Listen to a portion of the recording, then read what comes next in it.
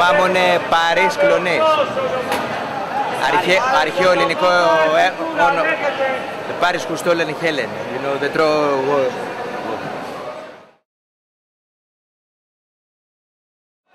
Ε, Είναι λίγο δύσκολα τα πράγματα. Ο κόσμος υποφέρει γιατί έχουν κόψει τους μισθούς, τις συντάξεις. Ε, και ο κόσμος δεν έχει λεφτά και κοιτάει να κάνει οικονομία για να έχει περάσει. Τα κάψιμα είναι λίγο ακριβά, το χειμώνα είναι λίγο δύσκολα. Ε, πηγαίνει στις παραλίες, κοιτάει να μαγειρέψει μια μακαρονάδα, ας πούμε, λίγες ντομάτες, φθηνά ψάρια. Αυτά που ξέραμε που πήγαινε ο κόσμος στις ταβέρνες, κάθε βράδυ, στα μπουζούκια και αυτά τα, τα κόψαν όλα. Και κοιτάνε όλοι να κάνουν οικονομία, να ζουν δηλαδή φτωχικά, ας πούμε. Ε, ναι! Εγώ προσωπικά στη ζωή μου γιατί είμαι Έλληνας είμαι μαχητής και δεν φοβάμαι. Και με τα πολλά και με τα λίγα θα επιβιώσω. Ε, θα προσπαθήσουμε όλοι μαζί και θα περάσουμε αυτή τη δύσκολη κρίση και μετά από κάποια στιγμή σιγά σιγά όλα θα, θα, θα φτιάξουμε το πιστεύω. Ε, αυτή η κατάσταση δημιουργήθηκε γιατί γίνανε κάποια λάθη στο παρελθόν ε, οι τράπεζες δίνανε λεφτά στον κόσμο χωρίς λόγο, δανεικά, ε, παίρνανε μέχρι και για διακοπές και λοιπά και το κράτος έπαιρνε δανεικά. Ήρθανε πάρα πολλοί ξένοι στην Ελλάδα, μείνανε οι Έλληνες χωρίς δουλειά. Αγοράζαμε πολλά προϊόντα απ' έξω ενώ δεν υποστηρίζουμε τα ελληνικά προϊόντα και αντί να κοιτάξουμε δηλαδή τη γεωργία μας, την κτηνοτροφία μας, την αλληλεία και αρχίσαμε να αγοράζουμε απ' έξω όλα τα προϊόντα και έγινε αυτό το πρόβλημα στην Ελλάδα. Κλείσανε τα εργοστάσια, ε, τα ρούχα, οι βιομηχανίες, όλα αυτά κλείσανε, κατάλαβες. Άνοιξαν οι πλούσιοι Έλληνες στο εξωτερικό τα εργοστάσια τους και δυστυχώς έγιναν όλες αυτές οι καταστάσεις. Πιστεύω ότι ε, κάθε χώρα πρέπει να κοιτάει να, το, τα πλούτη της, τη δύναμή της και να παράγει το πλούτο μόνη της.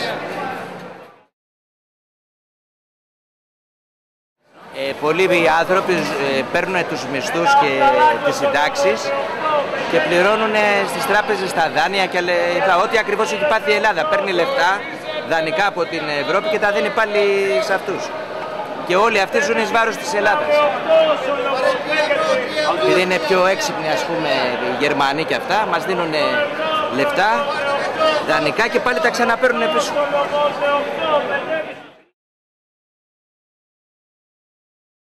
Είναι ακριβώς το ίδιο πρόβλημα, ότι τραβάμε εμείς τα ίδια και εσείς και χειρότερα εσείς.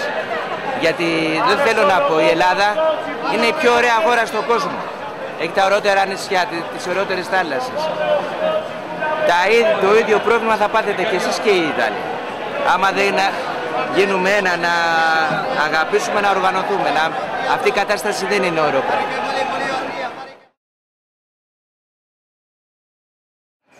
Η Ισπανία, η χώρα που ανακάλυψε όλο τον κόσμο, ο Κολόμπος και όλο το πλανήτη, που δεν ξέραμε η γη άμα είναι στρογγυλή, που είναι από τις ωραιότερες χώρες στην Ευρώπη και έχετε φθηνά προϊόντα, δυστυχώς έχει 30% ανεργία. Αυτό είναι απαράδεκτο πράγμα για την Ισπανία. Καταλαβες.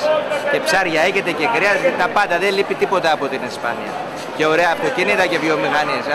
Αυτά να βλέπετε κι εσείς, αυτά που περνάμε εμείς τα περνάτε κι εσείς. Κατάλαβες πώς σου μιλάω. Ε, ναι! Τώρα στην Ελλάδα περνάμε ό,τι χειρότερα γνώρισε αυτή η χώρα. Η Μέρκελ θέλει να μας γονατίσει. Ας μας δώσει τα, τις αποζημιώσεις τις κατοχικές που είναι 550 δισεκατομμύρια ευρώ από την κατοχή το 1940-1944 με καταστροφές, με δημεύσεις, με οτιδήποτε άλλο που κάψανε την Ελλάδα και να τις πληρώσουμε ό,τι θέλει. Αλλά οι Έλληνες πρωθυπουργοί που παίρνουν κρυφά πόνους από τη Γερμανία διαμέσου Siemens και άλλων οργανισμών είναι κλέφτες και δεν το θέτουν. αλλά θα πάνε στην Κρεπάλιο.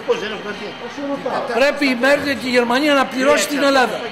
Δεν ζητάμε τίποτα από τη Γερμανία παραπάνω.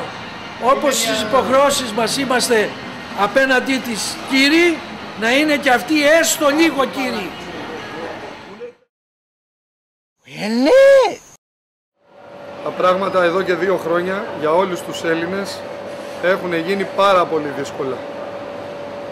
Χάσανε όλοι οι Έλληνες το γέλιο τους, τη χαρά τους και όλο το πρόγραμμα που είχε μπει η ζωή τους. Γιατί όταν παίρνεις κάποια λεφτά και προγραμματίζεις τη ζωή σου να ζεις με αυτά τα λεφτά και ξαφνικά έρχονται οι άλλοι και φτάνεις εσύ να έχεις τα μισά λεφτά από ό,τι έπαιρνες με τα διπλάσια έξοδα, καταλαβαίνεις πόσο δύσκολα είναι τα πράγματα για τους Έλληνες. Και όλοι λένε ότι οι Έλληνες φάγανε τα λεφτά. Δεν τα έφαγε ο απλός ο κόσμος τα λεφτά. Τα λεφτά τα φάγανε οι πολιτικοί και ένα 5% των Ελλήνων οι οποίοι ήταν σε κέρυες θέσεις και τρώγανε τα λεφτά αυτά. Ο υπόλοιπος όμως ο κόσμος όπως εγώ που δουλεύουμε από το πρωί μέχρι το βράδυ για να βγάλουμε το ψωμί μας δεν φάγαμε τίποτα από όλα αυτά τα λεφτά. Και τώρα εμείς πάλι πληρώνουμε τα λεφτά που φάγανε άλλοι. Ε, ναι! Εγώ και η γυναίκα μου παίρναμε μαζί, δουλεύοντας, 2.500 ευρώ το μήνα. Τώρα αυτή τη στιγμή παίρνουμε 1.700. Έχω δάνειο για σπίτι που κάνει 700 ευρώ το μήνα. Έχω δύο παιδιά που πρέπει να τα ταΐσω, να τα ντύσω. Πώς θα τα βγάλω εγώ πέρα. Και όταν έρχονται οι λογαριασμοί του ρεύματος αυξημένοι κατά 50% μέσα σε αυτά τα δύο χρόνια. Έχω να πληρώσω νερά, να πληρώσω φροντιστήρια αγγλικών των παιδιών για να μάθουν μια ξένη γλώσσα να μπορούν αργότερα να κάνουν κάτι. Δεν μπορώ να κάνω τίποτα για αυτό. Πώς μπορώ εγώ να ζήσω. Ας έρθει κάποιος να μου πει πώς θα τα βγάλω εγώ πέρα.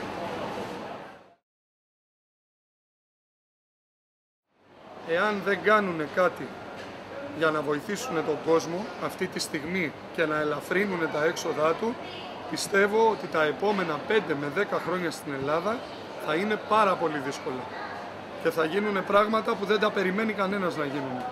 Η μόνη λύση για να μπορέσουμε αυτή τη στιγμή να επιβιώσουμε όλοι οι μεσογειακοί λαοί είναι μία. Η λύση είναι να βγούμε όλοι έξω από το ευρώ και να αφήσουμε τους Γερμανούς και όποιες άλλες χώρες βόρειες συμφωνούν μαζί τους να κάνουν ό,τι θέλουν εκείνοι και εμείς να κοιτάξουμε να βοηθήσουμε ο ένας τον άλλον για να μπορέσουμε να τα βγάλουμε πέρα. Γιατί αλλιώς αυτή τη στιγμή οι Γερμανοί επειδή δεν μπορούν να κάνουν πόλεμο με όπλα, κάνουν οικονομικό πόλεμο και έχουν καταστρέψει όλες τις μεσογειακές χώρες. Ε, ναι! Λίγο, δεν έχει αλλάξει πολύ, αλλά υπάρχει πρόβλημα το οποίο έχει, έχουν έρθει τα μέτρα απότομα απότομα ε, ε, γρήγορα και πολλά μαζί. Ενώ έπρεπε να έχουν έρθει λίγα-λίγα, σιγά-σιγά. Ήρθαν όλα μαζεμένα και γι' αυτό δημιουργήθηκε η κρίση. Θα βελτιωθεί, αλλά θα αργήσει, διότι οι πολιτικοί μας δεν φέρθηκαν καλά. Δεν φέρθηκαν γιατί δεν πήραν μέτρα σιγά-σιγά να έρθουν easy, να έρθουν σιγά-σιγά τα μέτρα. Γιατί ήρθαν απότομα. Θα βελτιωθεί, αλλά θα αργήσει. Και πιστεύουμε με την καινούργια ηγεσία την πολιτική να φτιάξει γιατί έχουν υποσχεθεί πολλά πράγματα. Υπάρχει κρίση, αλλά θα αργήσει.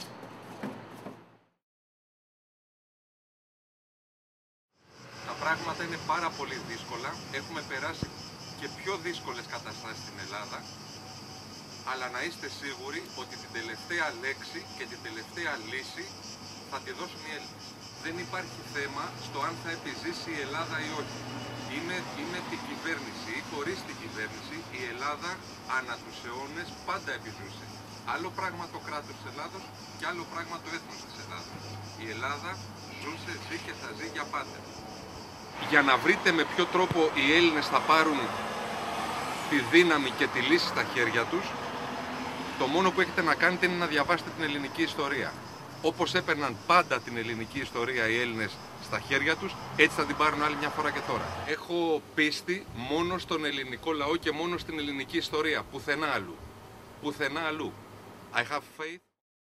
Ε, ναι! Πολύ δύσκολα. Πολύ δύσκολα. Πολύ φόρο.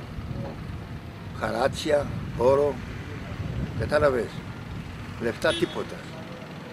Σύνταξη, μισθή, χαμηλά. Πολύ λίγα.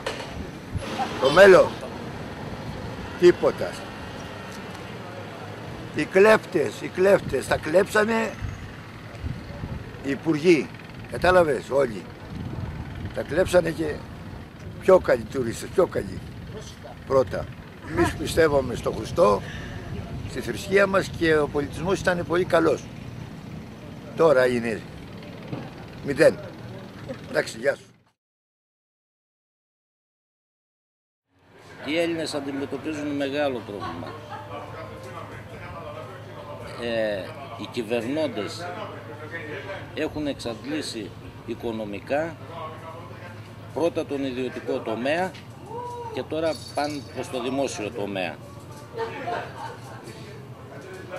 Ο κόσμος πρέπει να ανατρέψει αυτά τα μέτρα, να τα σταματήσει, αλλά θέλει κάποιο κίνητρο, το οποίο δεν του το επιτρέπουν. Είναι ένα στυλ μαφίας που κυβερνάει. Αυτά, τι άλλο να σου πω. Οικονομικά δεν μπορούν να ανταπεξέλθουν, οι φόροι είναι αβάστακτοι, άνθρωποι που ήταν πλούσιοι πτωχεύσανε, τα νοσοκομεία κάνουν στάση να παρέχουν ιατρική βοήθεια, η παιδεία δεν είναι η, η, αυτή που αρμόζει προς τους Έλληνες πολίτες. Και όλα εξαρτούνται από το οικονομικό, την οποία την κρίση την προκάλεσε το τραπεζικό παγκόσμιο, ευρωπαϊκό και ελληνικό τραπεζικό σύστημα αυτή την κρίση. Θέλουν, έχουν συγκεντρώσει το χρήμα λίγοι και θέλουν να, να, να έχουν τους εργαζόμενους σαν σκλάβους. Αυτό ο ελληνικός λαός δεν θα το επιτρέψει. Θα το ανατρέψει σύντομα.